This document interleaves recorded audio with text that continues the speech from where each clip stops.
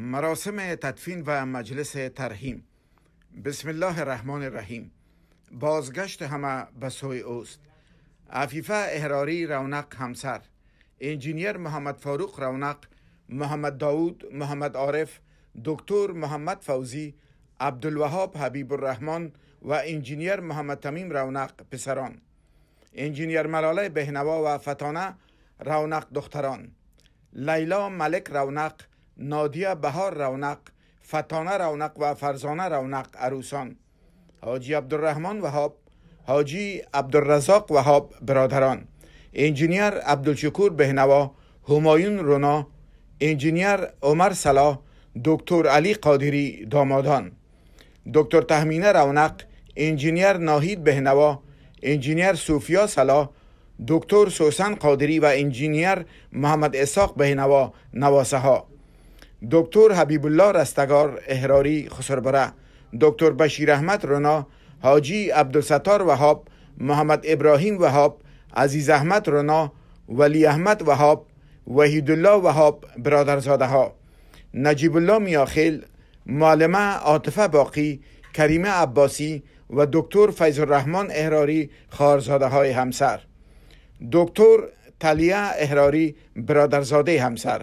حبیب الله طالع جلیل احمد رسولی محمد داود کاکازاده ها شیرین حیدری ملکه نوریان محمد ظاهر حیدری دکتر محمد زیا حاجی محمد راتب حیدری خواهرزاده ها حاجی الله شمس حاجی محمد یوسف حیدری دکتر محمد جلیل شمس دکتر محمد عثمان دکتر غوثالدین شمس دکتر محمد نعیم شهاب سلیمان خستو محمد حاصف ایدری هدایت الله ایدری انجینیر عنایت الله حمیدالله ایدری میرظاهر نوری پسران ماما و باقی فامیل های رونق رونا وهاب بهنوا احراری تاله شمس حیدری گیت ستانی و میاخل نسبت وفات مرحوم حاجی عبدالرحیم رونق سابق مدیر عمومی دوانستان بانک در ولایت هرات با اطلاع دوستان و عزیزان می رسانم که نماز جنازه مرحومی بروز سهشنبه 16 ماه اکتبر به ساعت دوی بعد از ظهر ادا و در حدیره نشنل سیتی مموریال پارک لوستا 3191 آرنج استریت نشنل سیتی کالیفرنیا به خاک سپرده می شود فاتحه مردانه و زنانه بعد از ادای نماز جنازه در مسجد جامعه توحید در شهر سندیگوی ایالت کالیفرنیا از ساعت 4 الا 6 بعد از ظهر برگزار می شود اشتراک دوستان باعث خوشنودی روح متوفا و تسلی خاطر بازماندگان خواهد شد. کارکنان شبکه جهانی آریانا افغانستان مراتب تسلیت و همدردی خود را به خانواده های رونق، رونا، وهاب، بهنوا، احراری، تاله، شمس، حیدری، گیت ستانی و میاخیل ابراز نموده. از بارگاه ایزد متعال برای مرحوم مغفور حاجی عبدالرحیم رونق اجر جزیل استدام نمایند. انا لله و انا الیه راجعون.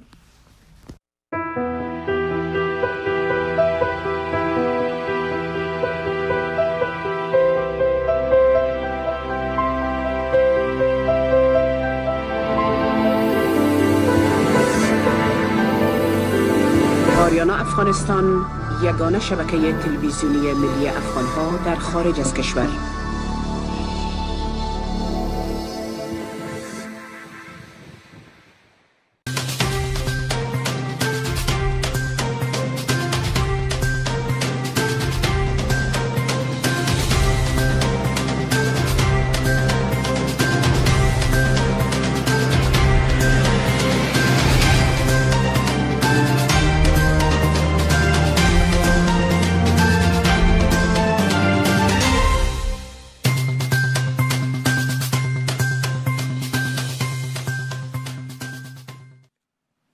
خداوند بخشاینده مهربان دوستان ارجمند هموطنان گرامی با سلام و ابراز تمنیات قلبی خوشوقت هستیم که با نگاه امروز دوشنبه 23 میزان سال 1397 هجری خورشیدی برابر با 15 ماه اکتبر سال 2018 میلادی یک بار دیگر به دیدار شما می آییم. طبق معمول در آغاز بخش افغانستان در آینه مطبوعات جهان تقدیم حضورتان می شود که شامل تبصره های از سند مارنینگ، دیلی میل، لانگوار جورنال و واشنگتن پست می باشد و در بخش روزنامه ها و جراید داخلی باستاب از آرمان ملی دنیا و مسیر را برای شما گرد آورده ایم و همچنان تبصره امروز ما با استفاده از مطالب تبصره ها و مقالات روزنامه های وطنی و خارجی تهیه و تدوین شده است. انعکاس مطالب مربوط به افغانستان در شماره از روزنامه های جهان. روزنامه سندی مارنینگ هرالد چاپ استرالیا. در شماره امروز خود با اشاره به مذاکرات اخیر بین ایالات متحده امریکا و طالبان می نویسد رهبران طالبان می خواهند به گفتگو با زلمه خلیزات مشاور خاص وزارت خارجه امریکا برای مصالحه در افغانستان ادامه بدهند. روزنامه به اظهارات زبیولای مجاهد سخنگوی طالبان اشاره می کند که گفته است در جریان این گفتگو که روز جمعه در شهر دوحه در قطر صورت گرفت در مورد حضور نیروهای خارجی در افغانستان و شیوه های حل آمیز جنگ در این کشور صحبت شد و موافقه شد که این گونه نشست ها همچنان ادامه یابد. زلمه خلیزاد مشاور خاص وزارت خارجه امریکا برای مصالحه در افغانستان در جریان مسافرت در روزش بر علاوه قطر که دفتر طالبان در آنجا مستقر است به کشورهای امارات متحده عربی، عربستان سعودی، پاکستان و افغانستان نیز سفر کرده است. سند مارنینگ هرالد علاوه می کند خلیزات روز شنبه بار دیگر به کابل رفت و معلومات در مورد مسافرت ها و ملاقات هایش را با رهبران کشورهای مختلف با افغانستان شریک, ساخت.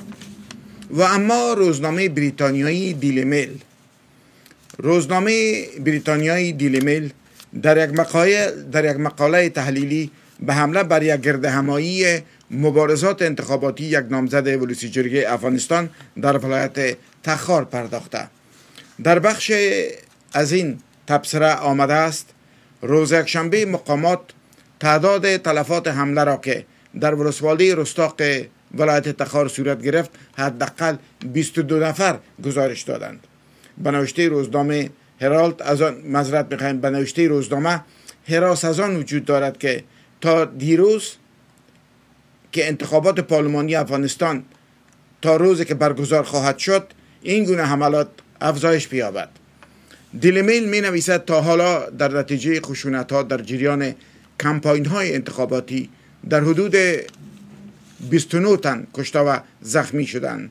گرچه مسئولیت حمله اخیر در تخار را تا حال کسی به دوش نگرفته اما طالبان تهدید کردند که پروسه انتخابات را مختل می سازند. و اما روزنامه لانگوار ژورنال نشری امریکایی لانگوار ژورنال نیز در مورد جنگ افغانستان مقاله مبسوطی را به نشر رسانده. که در بخش از این مقاله آمده است طالبان روزشنبه ادای تصرف دو ولسوالی را در ولایت پکتیکا و سمنگان کردند.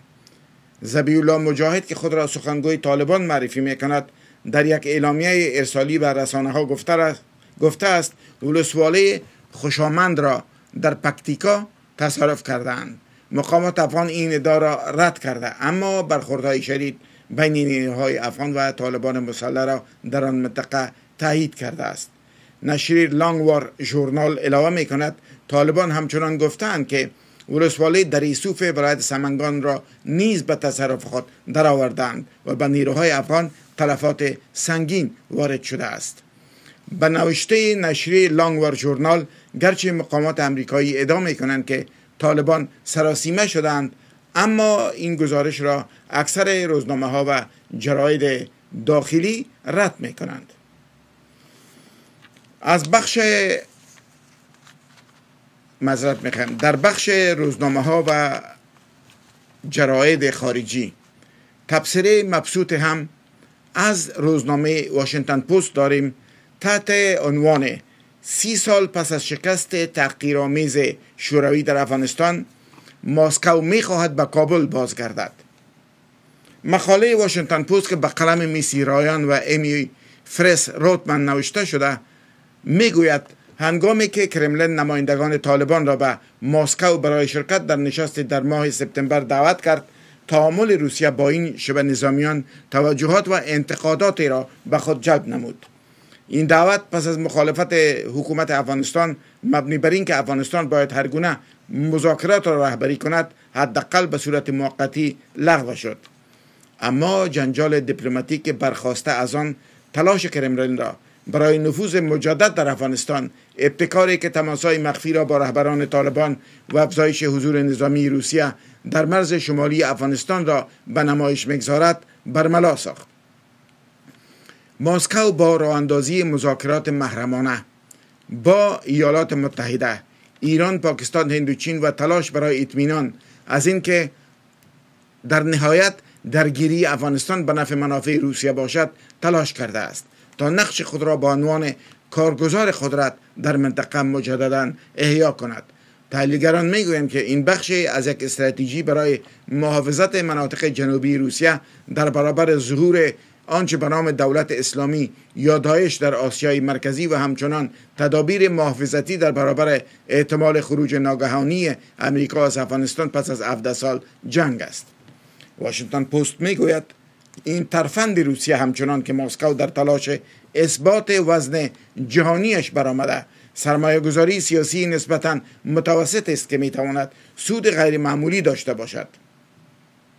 ارتمی کالینوفسکی محقق تاریخ آسیای میانه.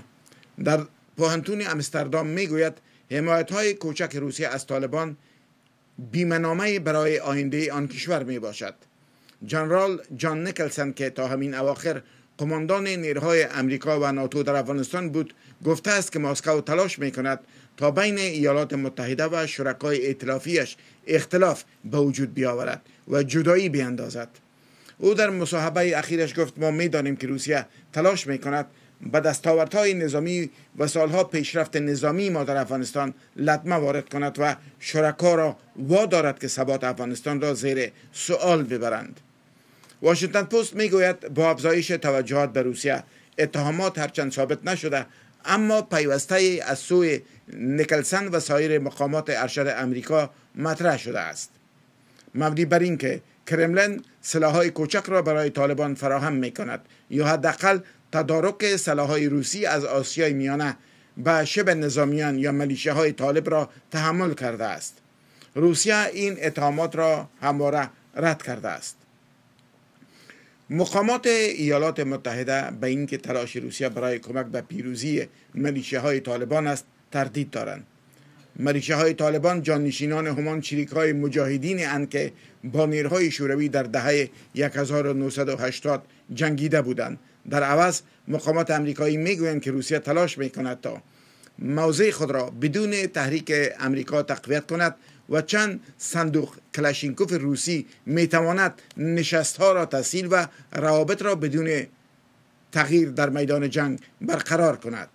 بازگشت روسیه با تلاش های دولت ترامپ برای عقب زدن بازخیزش طولانی مدت طالبان و مجبور کردن شبه نظامیان این گروه به یک معامله همزمان است با اینکه یک کارزار نظامی پرمصرف به نیروهای افغان کمک کرده است تا از مناطق پر جمعیت دفاع کند. اما مناطق وسیع از کشور همچنان تحت کنترل ملیشه های طالب قرار دارد. واشنگتن پست می‌گوید در ماه آگست ملیشه های طالب به صورت موقتی مرکز یک ولایت را به تصرف خود درآوردند. امری که نشان دهنده شکنندگی دولت افغانستان در حفظ قلمرو است. در پشت صحنه مقامات امریکایی حراس داشتند که مداخله کرملین از طریق ارائه فرصت های جدید حمایتی از طالبان و به این ترتیب کاهش انگیزه آنها نسبت به یک توافق اگر تلاش های دولت ایالات متحده افغانستان برای تقویت گفتگوهای صلح را صدمه نزند حتما آن را بغرنج و پیچیده می سازد یک مقام ارشد دولت ترامپ که مانند سایر مقامات به خاطر حساسیت موضوع می خواهد ناشناس باقی بماند. به واشنگتن پست گفته است طالبان باید فشار روسیه برای مذاکره را حس کنند نه اینکه به خاطر یک حامی دیگر احساس شجاعت به این گروه دست دهد. این و این قابل نگرانی است. واشنگتن پست در ادامه تبصره مبسوط خود. تحت عنوان هشدار اول می نویسد سی سال پس از آن که اردوی شوروی توسط نیروهای چریکی افغان شکست خوردن پیشرفت روسیه با طالبان یک چرخش قابل توجه و غیر قابل انتظار است. جنگ 1979 تا 1989 یعنی ده سال. که هدف آن سرپا نگه داشتن یک دولت کمونیست متحد کرملین بود افغانستان را ویران کرد. باعث کشته شدن حدود یک میلیون افغان شد و زیر ساختها و سکتورهای زراعتی این کشور را از بین برد. این جنگ تلفات شدید هم روی دست روس ها گذاشت. خزانه مسکو خالی شد و اقلا جان پانزده هزار سرباز روسی را گرفت. بسیاری از این سربازان توسط نیروهای اسلامگرای کشته شدند که به طور مخفیانه از سوی امریکا مسلح شده بودند.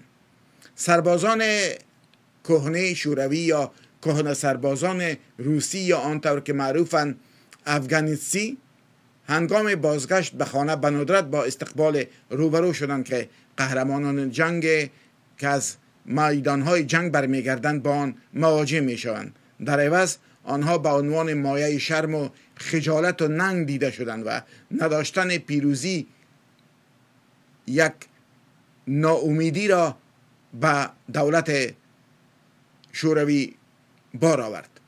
هنگامی که ایالات متحده و سایر کشورهای عضو ناتو پس از حملات 11 سپتامبر به افغانستان آمدند مسکو از این ائتلاف که در حال جنگ با القاعده و میزبان این گروه یعنی طالبان بود حمایت کرد.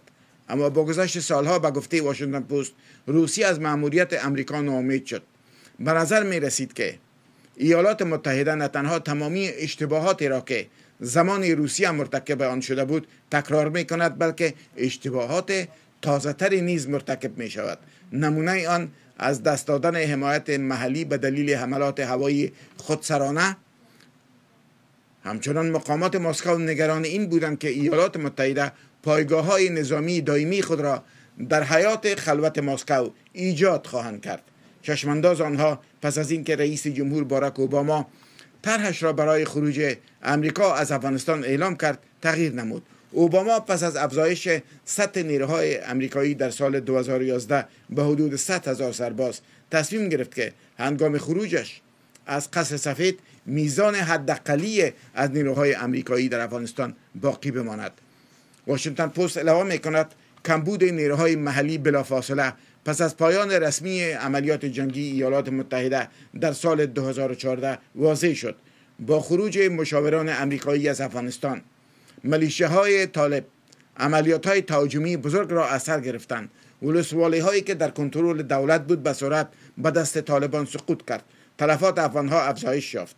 در ماه سپتامبر 2015 ملیشه های طالبان ولایت کندوز در شمال افغانستان را تصرف کردند. سقوط یک شهر بزرگ برای نخستین بار پس از 2001 میلادی نشان دهنده ضعف دولت کابل بود. کندوز فقط با یک ساعت رانندگی از تاجکستان فاصله دارد. تاجکستان قبلا یکی از ایالت های اتحاد جماهیر اشتراکی شوروی بود که تا هنوز زیر نفوذ روسیه همچنان باقی مانده است. جیمز شوملن یک از مقامات پیشین وزارت امور خارجه امریکا به واشنگتن پست گفته است ایده گذار طرز فکر همسایگان افغانستان نسبت به نقش ایالات متحده را تغییر داده. در همان سال یعنی 2015 گروهک های شبه نظامیان در مناطق مختلف افغانستان شروع به اعلام بیعت به دولت اسلامی یا داعش کردند. داعش گروه تروریستی است که به نام دولت اسلامی نیز شناخته می شود و سال 2014 در عراق و سوریه با شکست روبرو شده بود. برخلاف طالبان که صرفا به حکومت در افغانستان متمرکز است داعش جا طلبی های بین دارد. این گروه هزاران مسلمان را از کشورهای آسیای میانه به استخدام خود درآورده است.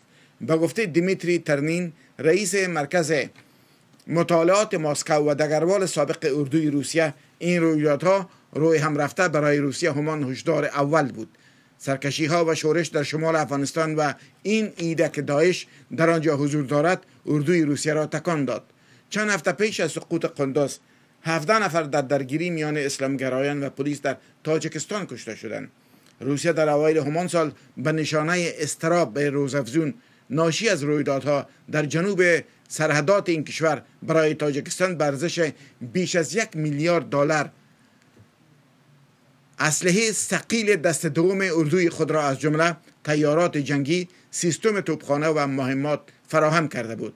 ولادیمیر پوتین رئیس جمهور روسیه در طی سفرش به تاجکستان سال گذشته یعنی 2017 میلادی قول داد که به تاجکستان در تامین امنیت مرزش با افغانستان کمک می کند روسیه و تاجکستان به نوشته واشنگتن پست تمرینات نظامی مشترک خود را نیز در تاجکستان را اندازی کردند. مانوری که از سوی مقامات ایالات متحده امریکا با عنوان عمل تحریک آمیز توصیف شد. زیرا این تمرینات بدون اطلاع قبلی به سازمان امنیت و همکاری اروپا انجام شده بود. مقامات گفتند که این تمرینات روسیه را این تمرینات روسیه را قادر ساخته است که سلاحهای استراتژیکش را از جمله راکت های بالستیک کوتابرد اسکندر و همچنان راکت های دوربرد هوایی را در کناره شمال افغانستان تعبیه کنند. از تبصره های روزنامه ها و جراید خارجی که بگذاریم فقط یک چند تبصره بسیار کوتاه از روزنامه های داخلی داریم. ضرورت زمانت بین المللی برای تامین صلح در افغانستان. سرمقاله امروز روزنامه آرمان ملی است. روزنامه آرمان ملی در تبصره مبسوط می نویسد روزنه نو برای صلح افغانستان گشوده شده است. از این روزنه می توان با خوشبینی های محتاطانه به آینده نگریست که در آن جنگ چل ساله در این کشور به پایان رسیده و ما می توانیم به کار سازنده برای آبادی و امران کشور خیش آغاز کنیم و بر روی زخم های مرهم التیام بگذاریم و بر روی زخم ها مرهم التیام بگذاریم که در تن و روانهای ما به وجود آمده است و ریشه در فاجعه عظیم انسانی در افغانستان دارد. آرمان ملی علاوه می کند این روزنه زمان گشوده شد که امریکا به پاسخ طالبان برای آغاز گفتگوهای رو در رو چراغ سبز نشان داد. پس از آن بود که یک دور گفتگو در قطر میان امریکا و طالبان تحقق یافت که فقط در آن توافق شد تا این گفتگوها ادامه یابد. حالا گزارش شده است که دور دوم این گفتگوها بروز شنبه در قطر میان زلمه خلیزات نماینده وزارت خارجه امریکا و نمایندگان طالبان انجام شود.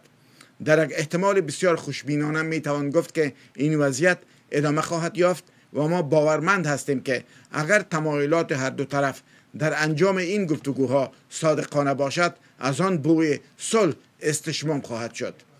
اما به نوشته آرمان ملی حالا که امریکا و طالبان این روند را آغاز کردن باید با دقت در این مورد اظهار نظر کرد و مطالبات مردم افغانستان را ابراز داشت. اگر گفتگوها برای رسیدن به سال با اراده سیاسی و قطعی طرفین ادامه یابد در قدم اول دولت کنونی که مسئول جانفشانی های مردم ماست در این روند شامل گردد. از یاد نبریم که دولت کنونی یک از طرفین جدی این مسئله به گفته آرمان ملی محسوب می شود زیرا در جریان 13 سال اخیر برای شکل و سامان دادن نظام انسانی و دموکراتیک تلاش کرده است و دستاوردهای چشمگیری نیز دارد. بر صورت روزنامه آرمان ملی در ادامه می نویسد که هر گونه توافق میان امریکا و طالبان نمی تواند صلح واقعی را در افغانستان بار بیاورد و جنگ با شکل و شمایل دیگر ادامه خواهد یافت. ما باور داریم که اگر امریکا پیش های طالبان را قبول کند باید اراده داشته باشد که نظام کنونی در ساختار جدید که در آن طالبان نیز شامل خواهند بود محفوظ بماند. معلوم است که دستیابی به صلح بدون انعطاف پذیری هر یک از طرفهای درگیر امکان پذیر نیست. پس طالبان نیز باید برای رسیدن به دستاوردهای در این پروسه چیزهایی را که دو طرف دیگر قبول ندارد رها کند تا این کار روند گفتگوها و مذاکره را سرعت ببخشد. در حال حاضر طالبان یک از پیشرتایشان خروج نیروهای خارجی از افغانستان است. طالبان در آن صورت از مفاد توافقات واقعی حمایت خواهند کرد. از این روز که زمانت های بین باید یکی از مواد مندرج در هر گونه توافق میان هر سه طرف باشد. در غیر آن طالبان پس از بیرون رفتن نیروهای خارجی از افغانستان با وحشیگری تمام مشکلات افغانستان را دو برابر خواهند ساخت و جنگ را برای دستیابی به قدرت یک جانبه ادامه خواهند داد و همام های خون را برا خواهند انداخت. و ما روزنامه دنیا در سرمقاله امروز خود می نویسد که پاکستان کشوری است که در طول تاریخ رابط با افغانستان به مسابقه دست راست دسیسگران بیرونی برای دولت کابل کار کرده و دردسرهای فراوانی را نیز به بار آورده است. در برابر این نقش ابزار به بهره نیز نمانده. در برابر این نقش که پاکستان بازی کرده امریکا هم به بهره نمانده و از تصاحب جغرافی های افغانستان گرفته تا سایر منافع افغانستان را به خطر انداخته است.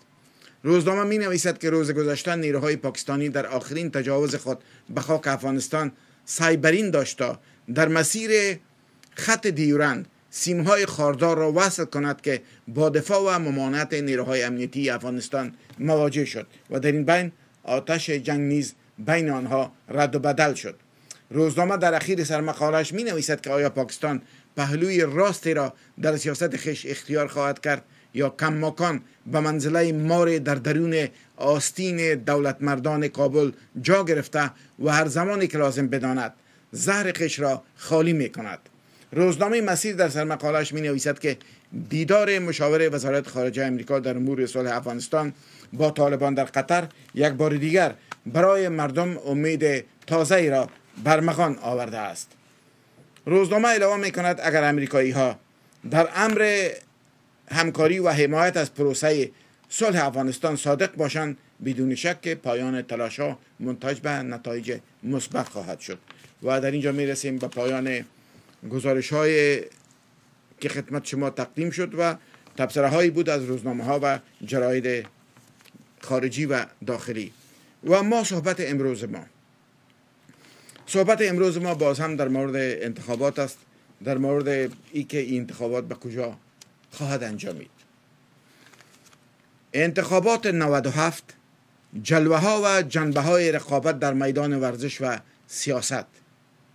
در این مورد روزنامه هشت صبح مقاله مبسوطی را به نشر رسانده که متاسفانه نسبت زیقی وقت من نمی‌توانم این تبصره مبسوط روزنامه هشت صبح را خدمت شما تقدیم کنم. بر صورت میریم به سراغ تبصره اصلی. اگر از اندیشه های آرمانی و دیدگاه های هنجاری بگذریم و چشم بر واقعیت های تخت بکشاییم خواهیم دید در سرزمینی که سوز فقر و غمنان حاکم شده یک انتخابات آزاد و عادلانه تا چه حد میلنگد و تا کجاها سقوط می کند واقعیت این است که بخش بزرگی از مردم افغانستان نان برای خوردن و شکم سیر برای خوابیدن ندارند. از این رو نمی‌توانند دست به انتخاب آزاد و دور اندیشانه بزنند و برایشان عاقلانه ترین انتخاب انتخاب است که اقلا یک روز آنها را از گرسنگی و بیچارگی برهاند. این ناگزیری دقیقا همان چیزی است که بسیاری از نامزدان انتخابات پارلمانی 28 میزان آن را درک می کنند و روی آن سرمایه گذاری کردند. فقط چند روز دیگر تا برگزاری انتخابات پارلمانی و رقم خوردن سرنوشت خانه ملت باقی مانده. اما کیست که نداند این انتخابات همانند بسیاری از پروسه های دیگر در افغانستان اسیر صدها دام و دانه و مجبوریت و ناگزیری است. چنان ناگزیری هایی که پروسه همانند انتخابات را از اصل خود توهی می سازد و تبدیل به پدیده تازه می گرداند که با فلسفه مردم سالاری فرسنگ ها راه فاصله دارد. پایان رقابت های انتخاباتی نامزد مجلس سه روز بعد در حال رقم می‌خورد که اگر از یک طرف بسیاری از نامزد نمایندگان در تقلای خرید آرای مردم بزاعت هستند بخشی از اقشار فقیر و مستضعف جامعه نیز در تقلای فروش آرای خود به مناسب ترین قیمت به نامزدان انتخابات پارلمانی می باشند مگر آنچه که من می‌گویم آن آنچه را که من می‌گویم درست نیست؟ نظر به واقعیت های تلخ افغانستان. در یک چنین معادله نمی‌توان به جرأت و قاطیت از واژگان خیانت و خیانتکار در حق مردم و نامزد نمایندگان استفاده کرد. توضیح این که وقتی مردم افغانستان کارنامه نمایندگان گذشته و پولشویی های آنان را در حافظه دارند چه شناخت و تضمین محکمی برایشان باقی میماند که اگر این بار نیز از گرسنگی و احتیاج مفرت خود و منفعت یک روزه که دلالان رای به آنها رسانده می توانند چشم بشویند. نامزد نمایندگان هم پس از ورود به خانه ملت از منفعت ها و سودجویی های شخصی خود چشم می پوشند و صادقانه به نمایندگی از مردم می پردازند در سوی دیگر وقت نامزد نمایندگان می بینند که مردم این بار جز از طریق پول و بخشش های نقدی و جنسی حاضر بر رای دهی نیستند چگونه می توانند به شعار و برنامه خوب و احیانا شخصیت پاک و بالای خود تکیه کنند و انتظار پیروزی را داشته باشند؟ در رابطه با انتخابات افغانستان تازه ترین گزارش از کانال یک یا چینل یک است که خدمت شما تقدیم می‌کنیم و ببینید که رئیس کمیسیون انتخابات افغانستان به چه اندازه ناامید است از انتخاباتی که تا سه روز دیگر در کشور برخوردار می شود می برگزار می شود. تا دقایق دیگر برمیگردیم با ما باشید. پنج روز با برگزاری انتخابات پارلمانی مانده است. انتخابات کاینده افغانستان با آن گره خورده است. هنوز مشخص نیست که در نتیجه این انتخابات نمایندگان قانون مدار و یا قانون گریز به پارلمان را پیدا خواهند کرد. کمیسیون مستقل انتخابات در نشست با عالمان دین خواهان تشویق مردم به مشارکت در انتخابات و پیشگیری از تقلب در انتخابات شد. صداقت نه تجارت این معیار قرار داده شود و بر مردم فهمانده شود که کی را باید انتخاب کنه و رای خود که اصلا زمیرش است این را در مقابل چند روپه نپروشه. این وظیفه علمای کرام رئیس کمیسیون مستقل انتخابات تاکید دارد که این نهاد در گذشته بدنام شده و تلاش دارد تا از بدنامی بیشتران پیشگیری کند. می‌فهمم که در اینجا کمیسیون است. بدنامترین اداره در افغانستان است. هر کسی اگر کار خوب کرد هم متهم است. اگر کار بد انجام داد خب متهم است حتما. به خاطر که ما آل دونیم هزار کاندید داریم. در دونیم هزار کاندید 250 نفر فقط به پارلمان را پیدا می‌کنه. و باقی مانده تمام اینا میگه که اعتراف نمی‌کنه که نه به ما کسی رای نداد. میگه نه تقلب شد. یا مرا متهم می‌سازه یا اعضای کمیسیون محترم. عالمان دین نیز هشدار می‌دهند که کمیسیون های انتخاباتی نباید در کار برگزاری انتخابات جانبدارانه برخورد کنند. و با در کنار این که مردم مسئولیت دارند رأیشان را به افراد صالح دهند کمیسیون های انتخاباتی نیز در کار برگزاری انتخابات باید مستقلانه عمل کنند. امروز در سراسر کابل یک تجارت انتخاباتی را پول توزیع میشه تذکره ها عرض میشه های به اهداف غیر اسلامی اسلامی و خدایی و رضایی صورت می‌گیره و توزیع میشه. برای خدا پیش ملتم جواب بوسیم و پیش خدای جواب بوسیم اگر زیر فشار هر هر نهاد وقتی که شما رفتیم اینجا تحت تاثیر هر کس رفتی وظیفه ایمانی وجدانی خود را برابر این خاک و وطن ملت را چی نکردیم؟ در پیش این ملت هم شما جواب بوسیم و پیش خدا جواب بوسیم دیده شود که این بار رهبری کمیسیون مستقل انتخابات در 28 میزان تا چی اندازه موفق به برگرداندن دوباره اعتماد مردم نسبت به این کمیسیون خواهند شد. کمیسیونی که به گفته رئیس آن یک نهاد بدنام است. آنچه گفته می شود یک درد چند لایه و پیچ در پیچ است که حاکمان و پارلمان سالاران گذشته برای مردم و جامعه به میراث گذاشتند. مردم بیاد دارند که در ولوسی جرگه افغانستان در گذشته چه اتفاقاتی افتاد و چه پولهایی نبود که به بحانه های مختلف از بیت المال و خزانه دولت به سمت جیب های نمایندگان سرازیر شد. همکنون رئیس ولوسی جرگه افغانستان آیا اطلاع دارین که در حدود 54 میلیون دلار مقروض است؟ و کدام قدرت و کدام مرجع می تواند این 54 میلیون دلار را از جیب آقای ابراهیمی رئیس ولوسی جرگه افغانستان خارج کند؟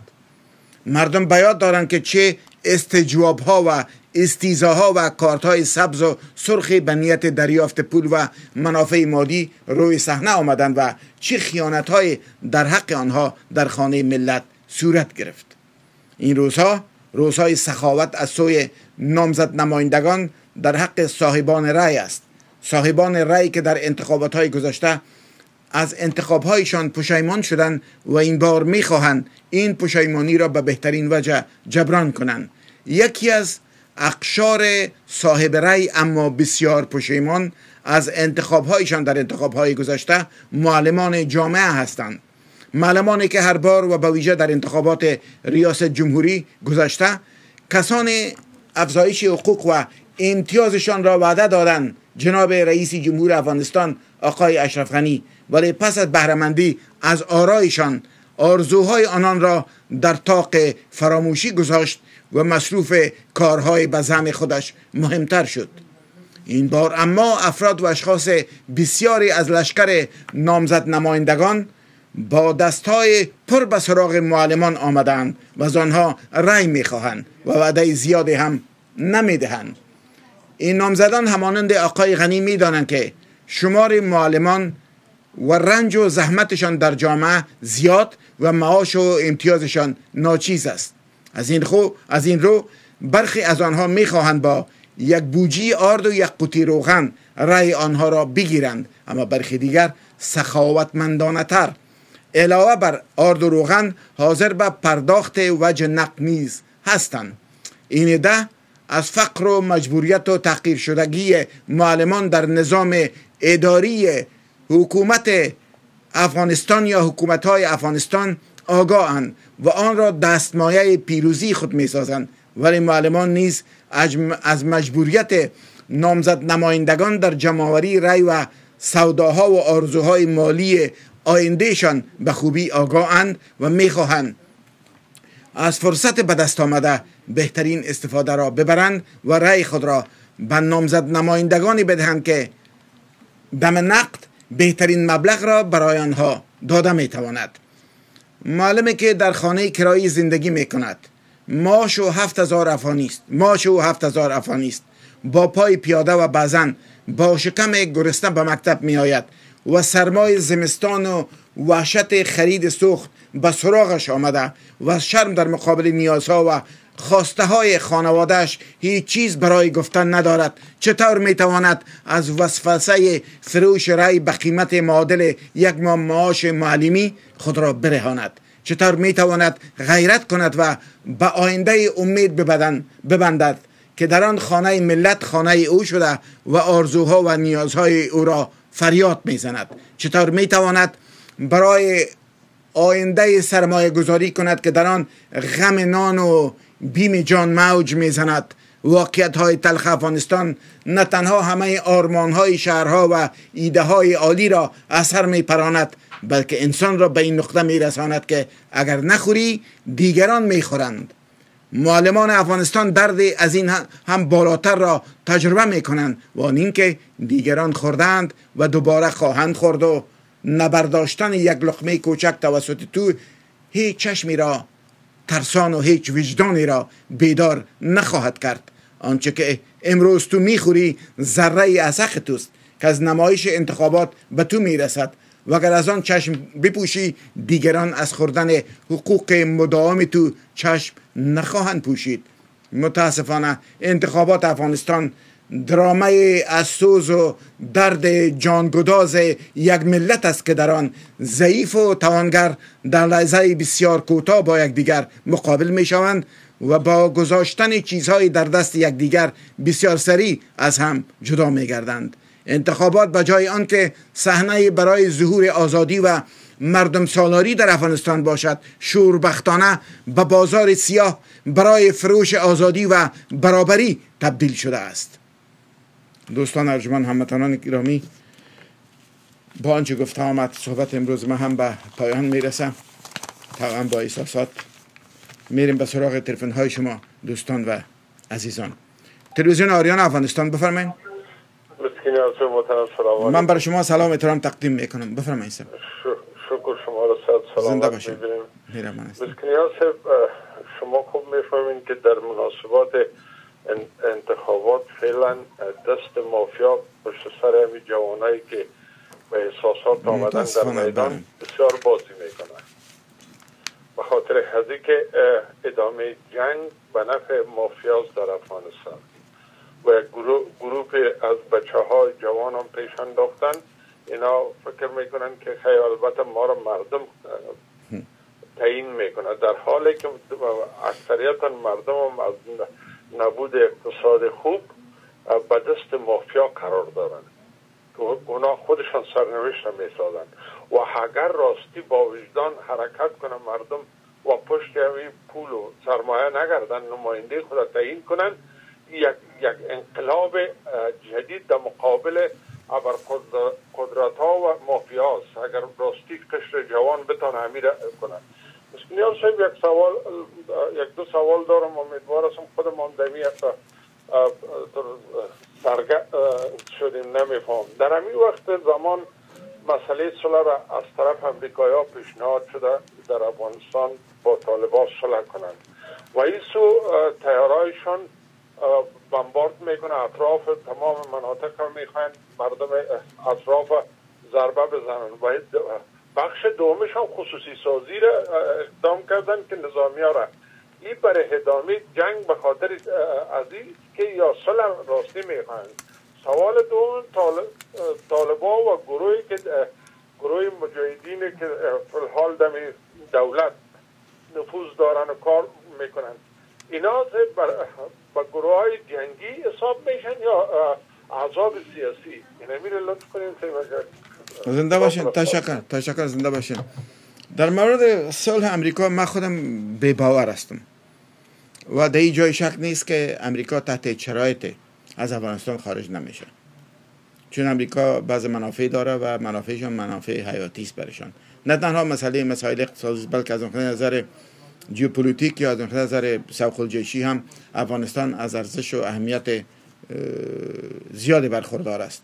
همسایگی افغانستان با کشورهای چین، روسیه و ایران و همچنان سرزمین های آسیای میانه از یک طرف و ثروت های خفته در خواب آسیای میانه از طرف دیگر امریکا را پیش از بیش از گذشته گفتیم مردم اینا را حریص ساخته. اما متاسفانه چیزی که من خدا کنه حقیقت نداشته باشه امریکا می‌خواد یک تعداد اساکر خود از افغانستان خارج کنه و به جای اونها اکثر مناطق افغانستان جنگ خصوصی بسازه اون مناطق.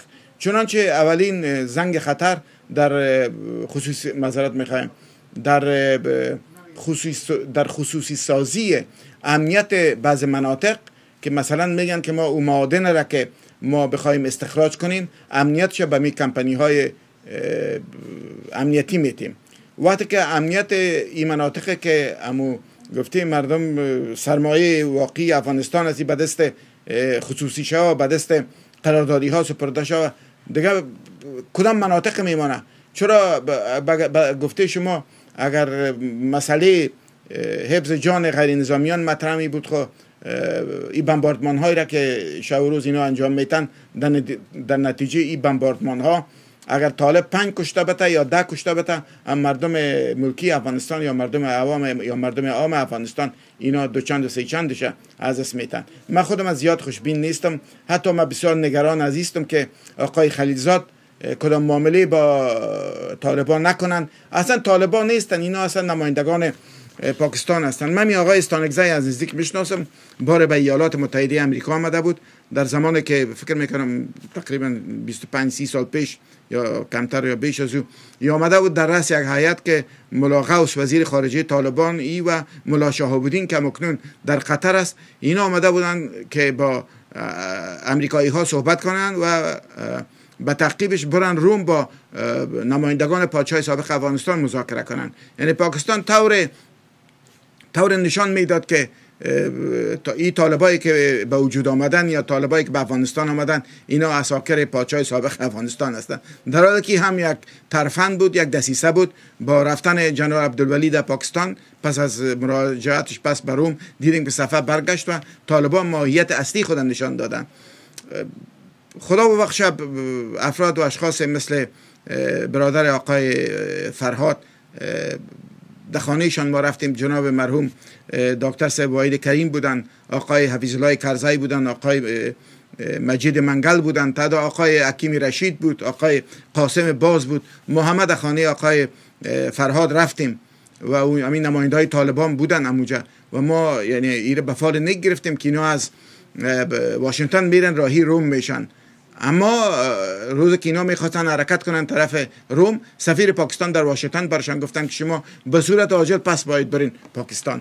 بران پاکستان این کارا را می‌کنه و این گروپی که امروز ما گفتم براتون که استانگزای جز همی حیات بود. امی, امی افراد و اشخاص که امروز در قطر ششتن و به نمایندگی از طالبا اینا عرض وجود کردن. اینا اصلا نماینده ها و افراد و اشخاص به نهایت مورد اعتماد پاکستانی ها هستند این از ما قبول کنین شما. امی آقای استانگزای امی آقای شابودین دلا، دلاور است چیست؟ یا چندین ملای دیگه که من میل از نامشون به خاطر ندارم. از اینا رو از نزدیک دیدیم و می‌شناسم اینا را یعنی آلباد پشت ما کدام گپ دیگه نزنین که تو امر طالبان رابطه داشتی. اینا در واشنگتن آمده بودن و اکثر افغان ها با اینا شیشتن و صحبت کردن و چندین مصاحبه هم ما کردیم.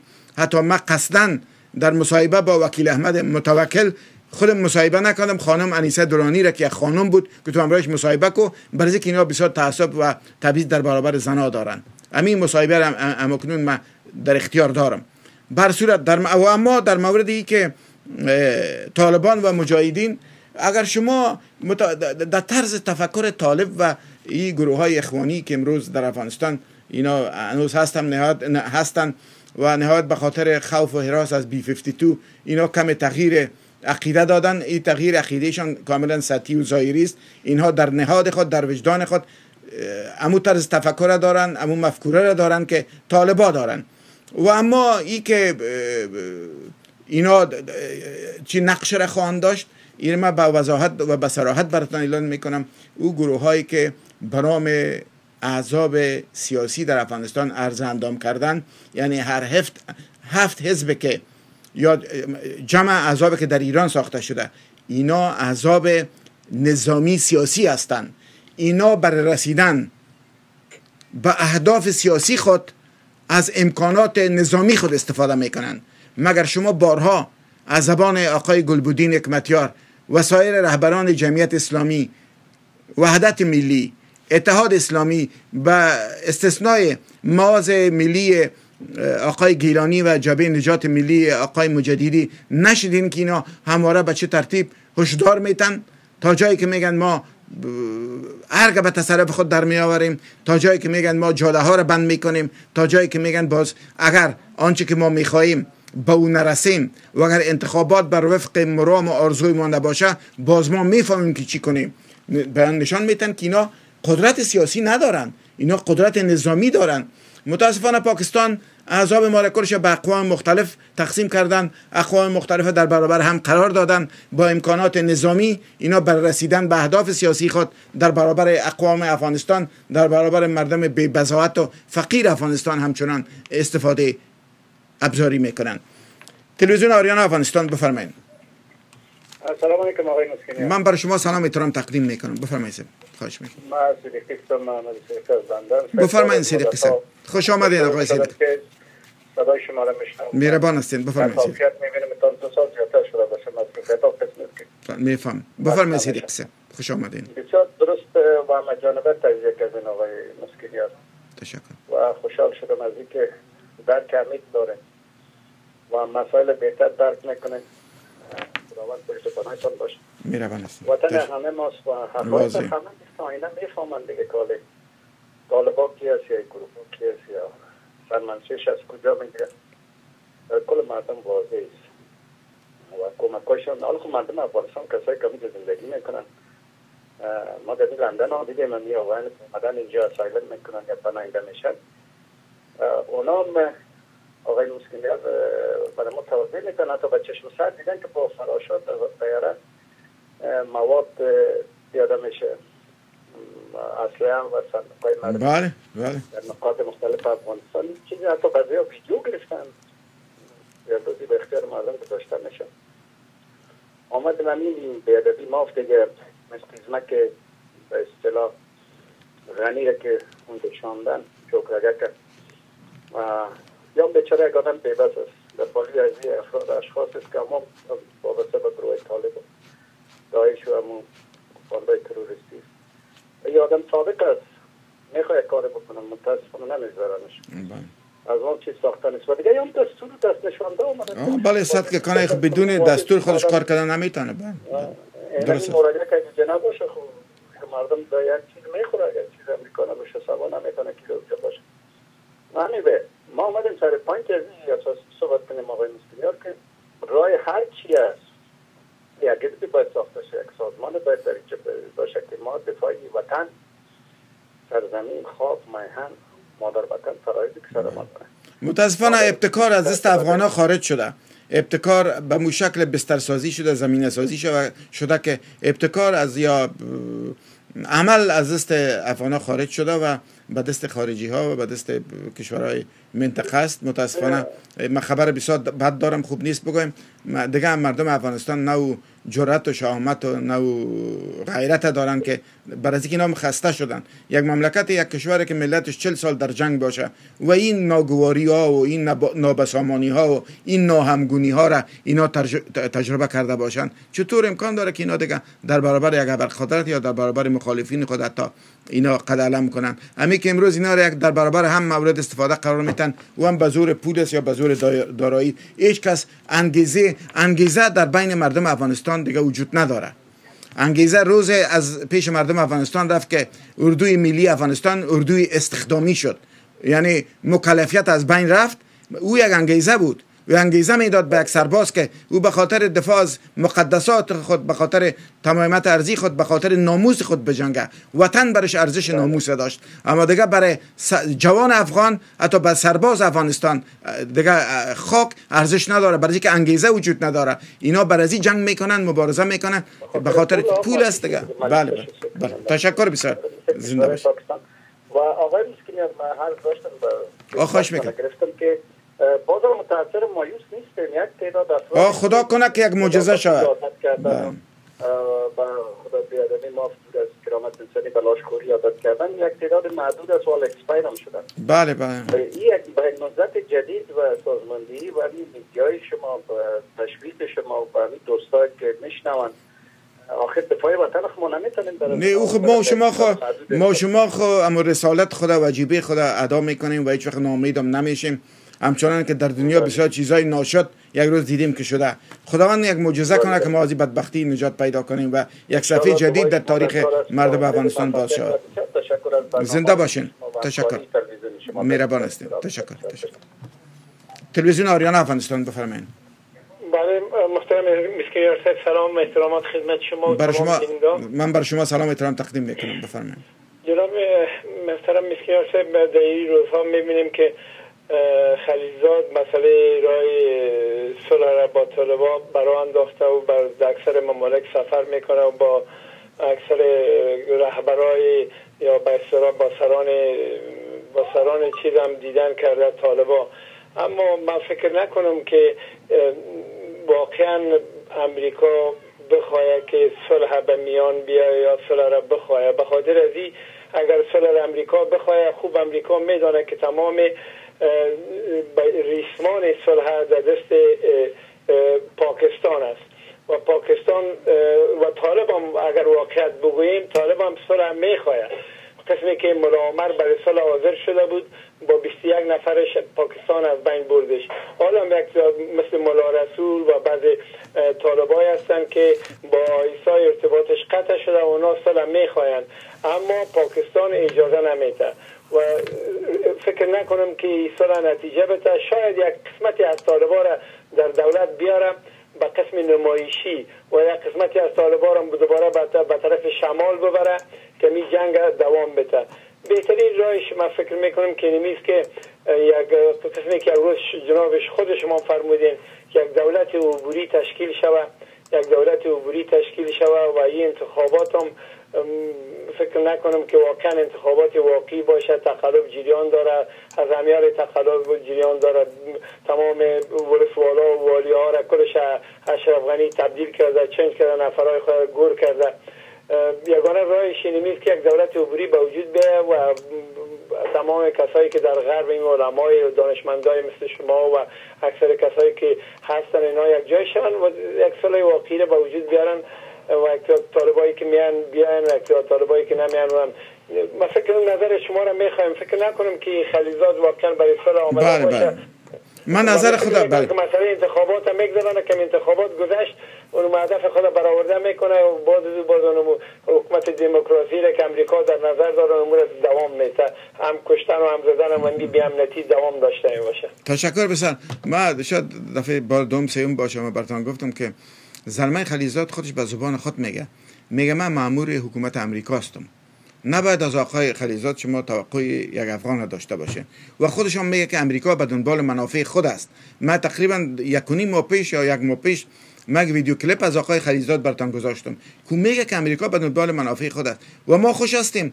این ببینید در کابل که آقای خلیزاد رفت اونو با من بایش من براتون گفتم من شناخت کلی کافی دارم از آقای خلیزاد اما این چاپلوسی و مدایی که این رهبرای تنظیما و این وزیرا و این مقامات افغانی از خلیزاد به عمل میارن این یک ماه پیش یک سال یک, یک سال پیش یک سال پیش خلیزاد بیچاره که سلامم نمی‌داد. این شما این دنیا رو ببینید. ما والا خجالت می‌کشم که می‌بینم. نام نمی‌گیرم من بعض عکسا را در صفحات اجتماعی دیدم. من شرمیدم والا. به این اندازه تملق چاپلوسی. و از جانب دیگه من خود ما شخصا به خودم یک از مامورین عالی رتبه امریکایی گفت یعنی چندین نفر اونجا شد گفت که ما طرفدار حکومت موقت نیستیم. ما نمی‌خواهیم رای را که 17 سال یا 16 سال رفتیم او را باز برای از رای که رفتیم برگردیم و صفر شروع کنیم. انتخابات بر صورت انتخابات میشه. ای که کی برنده میشه ای برتان گفتن نمی‌تونم برای که به دست ما نیست من پیشتر برتان گفتم که اراده از دست ما شما خارج شده و همچنان ابتکار هم از دست ما خارج شده. یعنی شما وقتی که اراده نداشته باشین بر شما حق نتن که شما اراده تانه تمثیل کنین. به چه ترتیب شما می‌تونین که ابتکار کنین؟ ابتکار به دست کسایی است که امروز قدرت در دستشان است. آخرین تلفنم جواب می‌تونم تلویزیون آریان افغانستان بفرمایید. آقای مسکینیار آبی السلام علیکم صاحب چطور هستین خوب هستین بفرمایید روان هستین آقای خل...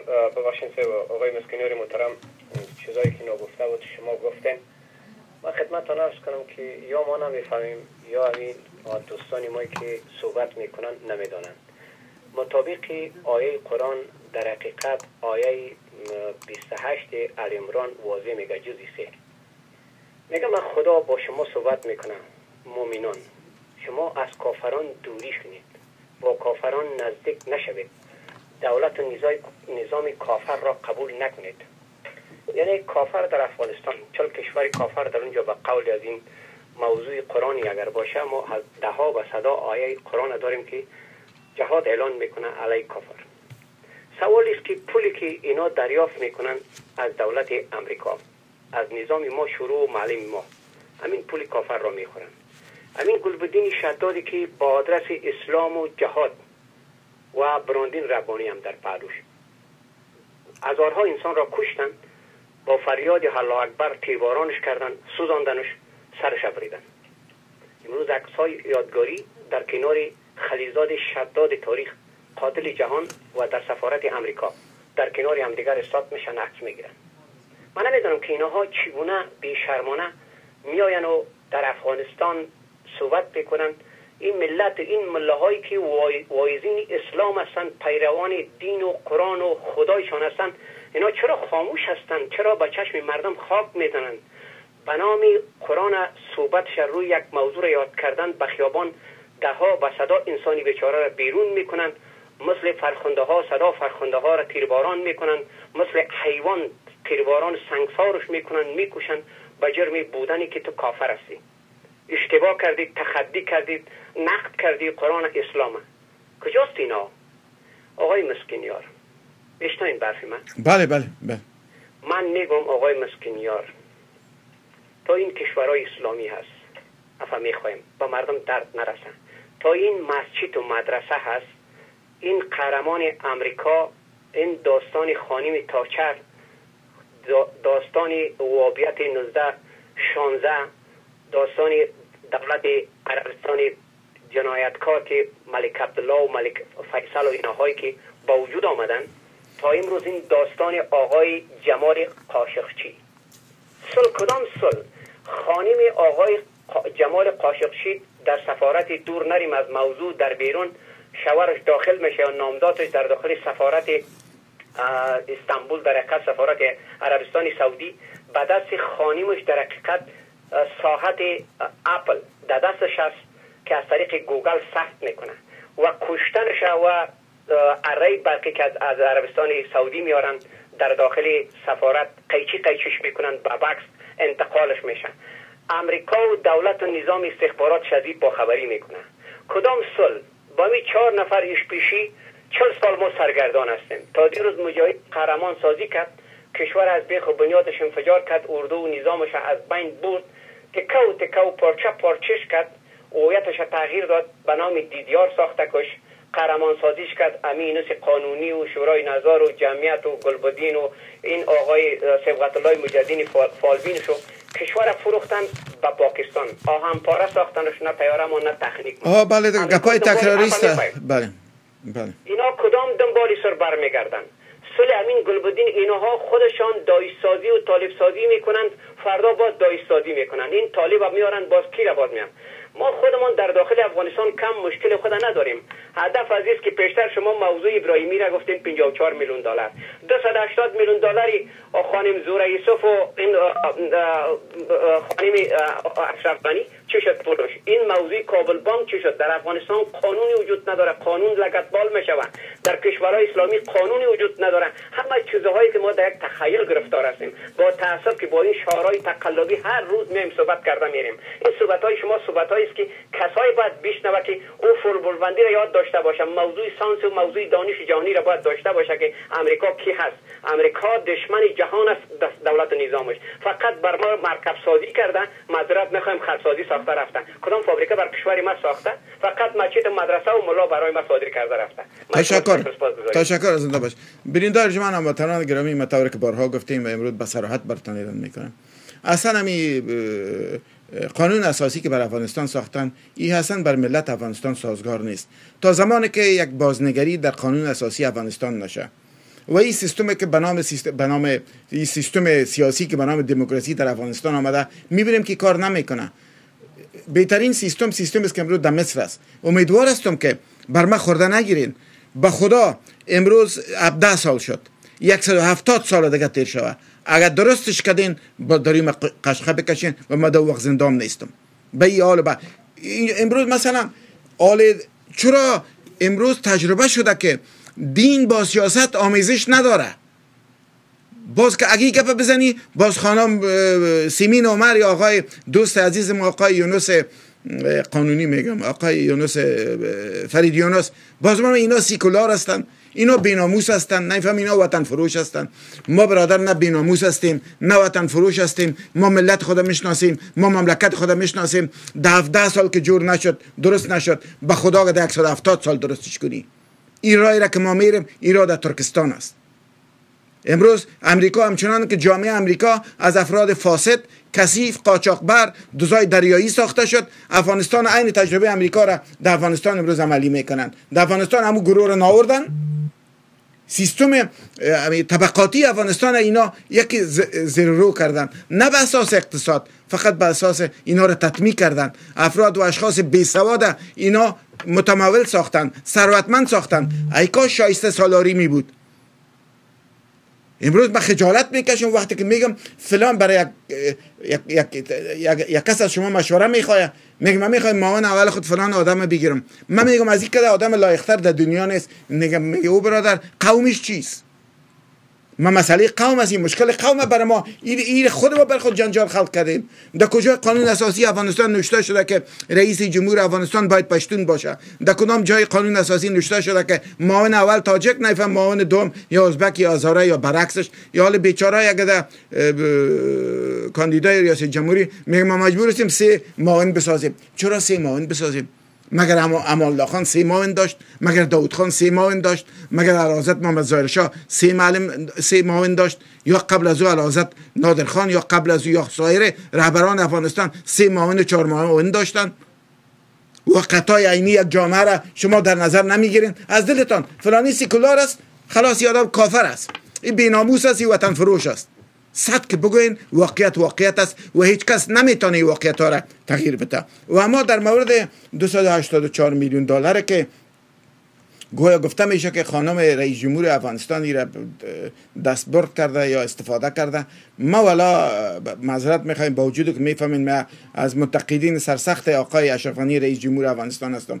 اما فکر نکنم به قدر سادگی یک مبلغ به این هنگفتی و یک پول در حدود 284 میلیون دلار یک خانه او قرد کنه. و جانب وظیفه خانم خانم زوره یوسف با تمام لیاقت توانایی که من خبر دارم و امرای کار کرده داره یگان کلانکاری داره. برای اینکه چیزی که کارش نیست تو چرا مو کار بکنی؟ همین که امرای خانم اول گفته خودش بانوی اول. بالا شیشت و پایین شیشت و دیگه کلگی فکر می‌کنن در تمام کارا خانم زوره یوسف همکار گفته مردم شریکی است. اتو نیست ولی اگه قرد کده بتانه ولی اگه خانم زوری یوسف اگه صد هزار دلار شه اگه بیچاره قرد کده بتانه. ما برتان میگم فقط یک کم کلانکاری داره. این کلانکاری از توفلیت داشت. ما خو میشناسمش به او خاطر سنت ندارین مدرک ندارین. میگن 284 میلیون دلار. او که اگر خانم اول نه تنها از 284 میلیون دلار شاید راه های دیگه هم داشته باشه. شما خبر دارین چندین قرارداد به برادر خود به برادرش که یک لبنانیست داده. از طرق دیگه اینا پول پیدا کردن. اما این 284 میلیون دلار اگر خانم اول یا گفته خانم زوری یوسف بانوی اول هم اگر از این استفاده جویی کرده اما خود خانم زوری یوسفی کار نکرده. ما وجدان داریم. اگر کنم سند دارین مدرک دارین بر من نشان بدین که در صورت ما هم گفتیم مردم باز دستای خود بر بزنم. دوستان ارجمند و وطنان گرامی و در اینجا می رسیم به پایان برنامه نگاه امروز. دیدار بعدی ما. فرداست در برنامه نگاه سر ساعت 11 خداوند یار و یاور همه ایتان.